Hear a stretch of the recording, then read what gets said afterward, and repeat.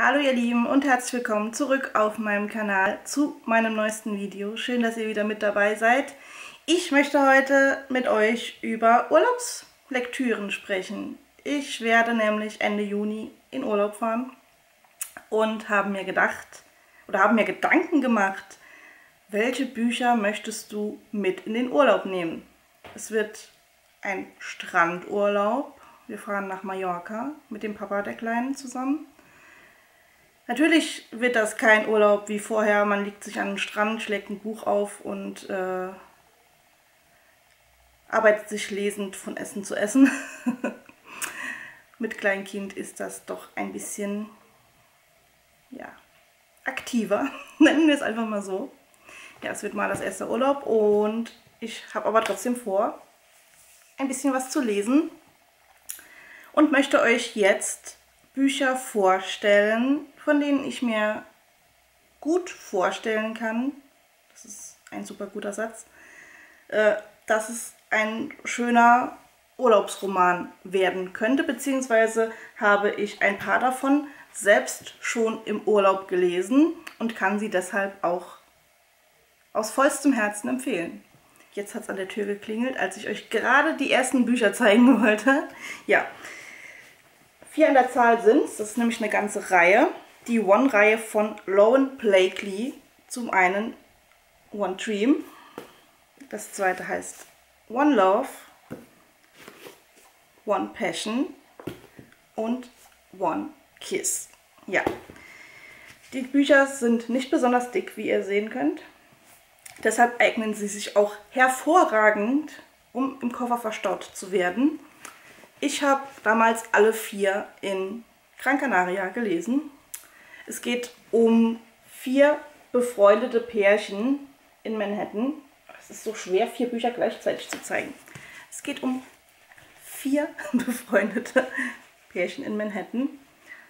Jeder hat sein eigenes Päckchen zu tragen, jeder hat seine eigene Lebensgeschichte, jeder hat ja, einfach Probleme und ein Mindset, das in dem Buch ergründet wird. Ich lese euch einfach mal schnell die Klappentexte vor, damit ihr wisst, um was es geht und euch ein Bild davon machen könnt, ob das vielleicht was für euch wäre. Sie sind halt super leicht, das heißt, man kann am Strand liegen, man hat ja immer nur eins dabei in der Regel und man kann sie einfach auch so lesen, ohne dass der, Klappen, äh, dass der Buchrücken verknickt wird. Ich liebe es. Deshalb ist das die perfekte Urlaubslektüre. So, ich erzähle euch jetzt mal, um was es in Band 1 geht. Die schönsten Dinge sind die verbotenen. Abby hat den perfekten Job gefunden, um ihren Studienkredit zurückzuzahlen. Sie ist die Nanny der hinreißenden kleinen Hayden. Deren alleinerziehender Vater Simon zahlt allerdings nicht nur ausgesprochen gut, er sieht auch verdammt gut aus. Bald hegt Abby Gedanken, die definitiv nicht in der Jobbeschreibung standen. Und auch Simon scheint durchaus an ihr interessiert. Als er sie um Hilfe bittet, seine Französischkenntnisse für einen Business-Deal aufzubessern, kommt er ihr gefährlich nahe aber jeder weiß, dass der Boss tabu ist. Band Nummer 1. Band Nummer 2. Eine verlorene Liebe, eine unverhoffte zweite Chance. Penny steckt in der Klemme. Die junge Tierheimleiterin braucht für ein Event noch dringend einen Caterer. Ihre letzte Hoffnung ist der neue Starkoch in New York, Gabriel. Ausgerechnet. Gabriel und sie haben sich vor einigen Jahren in Barcelona Hals über Kopf verliebt und ein paar leidenschaftliche Nächte miteinander verbracht. Doch zum geplanten Wiedersehen in New York ist Gabriel nie erschienen. Wie soll sie ihm jetzt bloß gegenübertreten? Wird er sie noch wiedererkennen? Und was, wenn sie ihn immer noch so anziehend findet wie damals? Band Nummer 2. Kommen wir zu Nummer 3. Was tun, wenn dein Ex plötzlich wieder vor, der, vor dir steht? So charmant und heiß wie eh und je. Vor einigen Jahren hat er ihr das Herz gebrochen. Jetzt läuft er ihr ausgerechnet beim Joggen im Central Park in New York wieder über den Weg. Delani hat ihre große Liebe Tyler noch lange nicht vergessen. Vergeben hat sie ihm allerdings auch nicht. Und als der erfolgsverwöhnte, extrem attraktive Anwalt es tatsächlich wagt, sie um ein Date zu bitten, lässt sie ihn abblitzen. Schließlich ändern sich Menschen nicht, oder? Er hat ihr schon einmal verdammt wehgetan, das braucht sie kein zweites Mal. Doch dann überrascht Tyler sie mit einer Aktion, mit der sie nicht gerechnet hätte. Und last but not least, Band Nummer 4, gegen dein Herz hat der Kopf keine Chance. Nicole weiß alles über Beziehungen. Immerhin moderiert sie eine Dating-Show. Deshalb glaubt sie auch definitiv nicht an die große Liebe und wünscht sich trotzdem von Herzen ein Kind. Ihr Kollege Ryder hat derweil ganz andere Sorgen. Er soll für die Show in zehn Dates eine Frau für sich gewinnen. Dabei ist er überzeugter Single. Allerdings ein ausgesprochen gut aussehender, findet Nicole und hat die perfekte Lösung für sie beide. Sie wird weiter für die Show daten. Er hilft ihr bei ihrem Babyproblem. Niemand verliebt sich, alle sind glücklich. Ganz einfach, oder? Band Nummer 4. Ich persönlich muss sagen, mir hat Band 4 am besten gefallen, weil ich fand, dass das einfach mal ein ganz neues Thema war, eine ganz andere Problematik in einem Buch. Ich kann die Reihe wirklich sehr, sehr, sehr empfehlen. Ich finde, sie ist sehr handlich, sie ist sehr locker, flockig geschrieben. Man kommt gut durch die Bücher und hat am Ende ein, ja, eine schöne Reihe beendet. Dann würde ich euch auch noch diese Reihe hier ans Herz legen. Trusted Love, zurück zu uns, ist der erste Band. Trusted Love, nur mit dir, ist der zweite Band. Beide von der lieben Annika Wirz geschrieben. Ich durfte im Blogger-Team sein. Und das ist aber nicht der Grund, warum ich euch die Bücher jetzt vor die Linse halte.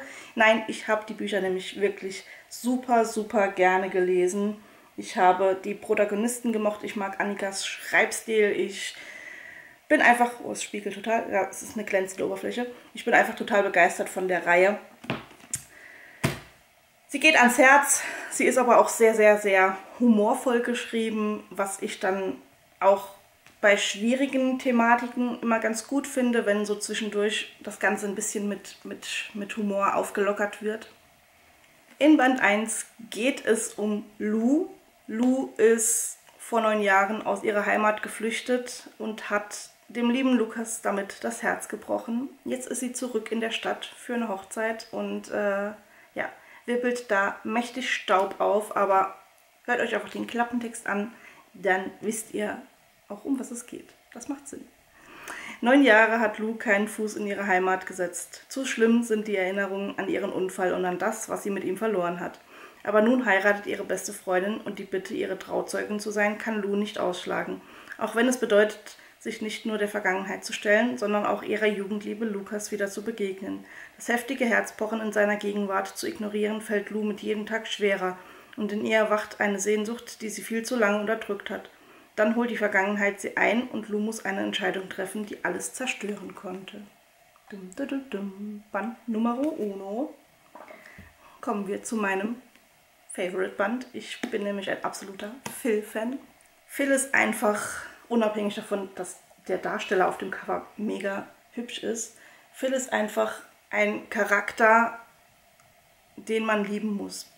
Ich sag's einfach so. Ich kenne niemanden, der sagt, Phil ist kacke. Phil ist einfach, ja, so ein richtiger Book-Boyfriend, ich sag's euch. Charmant, liebevoll und leider ein absoluter Frauenheld. So würde Victoria ihren besten Freund Phil beschreiben. Ein Typ, mit dem sie nächtelang um die Häuser ziehen, Arm in Arm durch die Stadt schlendern und stundenlang telefonieren kann. Niemals hätte sie sich vorstellen können, dass ihr Herz einmal in seiner Gegenwart schneller schlägt und ihre Sehnsucht nach ihm größer wird. Bis Phil sie plötzlich küsst und damit ihre komplette Welt auf den Kopf stellt. Er setzt alles daran, Victoria endlich ihre Gefühle zu entlocken. Doch keiner der beiden ahnt, wie gefährlich Phils Vergangenheit für sie werden könnte. Und plötzlich ist es nicht mehr nur Victoria, die sich fragt, ob ihre Liebe es wert ist, alles zu riskieren, wenn man noch so viel mehr verlieren könnte. Sehr, sehr schön. Und das Besondere für mich war, dass Victoria in einem Brautmodenladen gearbeitet hat, der ihr halt auch gehört und das einfach auch mal was komplett Neues für mich war, dass beide Protagonisten wirklich ein erfolgreiches Unternehmen führen. Phil ist nämlich auch Geschäftsführer einer, ähm, einer Firma in Schottland. Deshalb lebt er auch nicht mehr dort in der Heimat. Aber normalerweise ist ja so in Büchern, der eine ist so CEO oder sowas und der andere ist Praktikantin. ist, also diese, diese Machtverteilung ist oftmals in Büchern ja ganz, ganz äh, weit voneinander entfernt. Von daher fand ich es ganz cool, dass hier beide quasi Geschäftsführer sind und beide mit beiden Beinen voll im Leben stehen. Ich kann euch die Reihe wirklich nur wärmstens empfehlen. Ich habe, ich glaube, Band 2 innerhalb von anderthalb Tagen durchgesuchtet und der hat einige Seiten. 400 schlag mich tot, also fast 500 Seiten. Aber die Geschichte ist einfach so schön. Auf jeden Fall würde ich die im Urlaub auch wegsuchten wollen. Das nächste Buch, das ich euch zeigen möchte, habe ich selbst auch schon gelesen und das ist bestimmt schon fünf, sechs Jahre her. 2018 würde ich jetzt einfach mal schätzen. Ich müsste nochmal bei Lovely Books gucken, wann ich das gelesen habe. Wildblumensommer von Catherine Taylor. Sieht auf den ersten Blick total schön, sommerlich, locker, easy peasy aus. Hat aber ein, eine Thematik, die ja nicht so easy peasy ist. Es geht nämlich um Zoe. Zoe ist krank. Sie hat ein Aneurysma. Und ja, das muss dringend operiert werden. Aber sie beschließt halt nochmal an einen Ort zu fahren, der einerseits immer in ihrem Herzen sein wird, andererseits aber auch mit schlimmen Dingen verknüpft ist. Ihr Bruder ist dort gestorben und sie möchte einfach nochmal dorthin fahren. Ja, es ist irgendwo schwere Kost, aber die Autorin schafft es halt auch mit ihrem Schreibstil und auch sehr vielen Dingen, die das Ganze auflockern, dass das Buch wieder ein bisschen, sag ich mal, leichter zu lesen ist. Ich habe mir damals gar nicht so viel davon versprochen. Ich fand das Cover schön, habe es damals, muss sagen, ich habe es bei Rewe gekauft, weil mir das Cover gefallen hat. Und ja, ich habe da bei einem Rewe-Kauf erwarte ich gar nicht so viel. Ich dachte einfach, ach ja, ein schöner Sommerroman, der Klappentext klang ganz gut, wenn auch ein bisschen düster. Aber ähm, ja, ich wurde sehr, sehr, sehr, sehr, sehr, sehr positiv überrascht. Ich habe nach dem Beenden auch gesagt, das hat Potenzial für ein Jahreshighlight, weil es mich einfach komplett mitgenommen und abgeholt hat. Deshalb würde ich auch jedem dieses Buch als Sommerlektüre empfehlen. Setz dich in den Garten, lese das Buch. Ich habe noch ein zweites von ihr. Das möchte ich jetzt im Sommer auch unbedingt lesen. Bin sogar am überlegen, ob ich es mit in den Urlaub nehmen soll. Aber ich erzähle euch jetzt mal, um was es hier geht. Ein unvergesslicher Sommer. Sehen Sie, passt schon wieder. Zoe steht vor einer schweren Entscheidung. Eine hochriskante OP soll ihr Leben retten. Spontan beschließt sie noch einmal nach Cornwall zurückzukehren, denn dort erlebte sie vor 14 Jahren ihr größtes Glück und ihren schlimmsten Albtraum. Nun endlich will sie die Geheimnisse jenes Sommers klären. Erneut trifft sie auf ihre große Liebe Jack, erneut schöpft sie Hoffnung auf ein Leben an seiner Seite, aber die Schatten der Vergangenheit drohen auch ihre Zukunft zu zerstören. Ich habe das Gefühl, in diesen Büchern geht es viel um Vergangenheit, die einen einholt.